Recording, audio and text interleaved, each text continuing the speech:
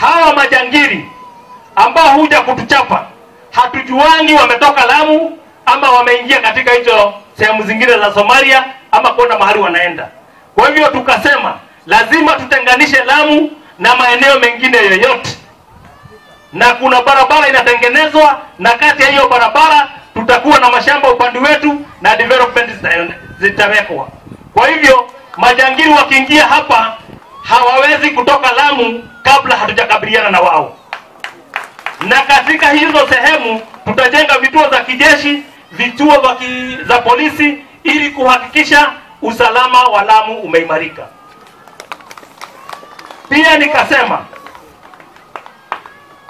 lazima tupatie watu wetu umeme. Kwa sasa nimeweza kuleta transformer nane. Transformer nane zinamaanisha familia nyingi zitapata umeme, na ndio ukasikia mama akisema hivi karibuni watapata umeme, na wale watu wenye hizo transformer wameona wakitembelewa, mashimo yameanza kuchimbwa, kwa sababu lazima tuishi kama wananchi wengine wa taifa la Kenya.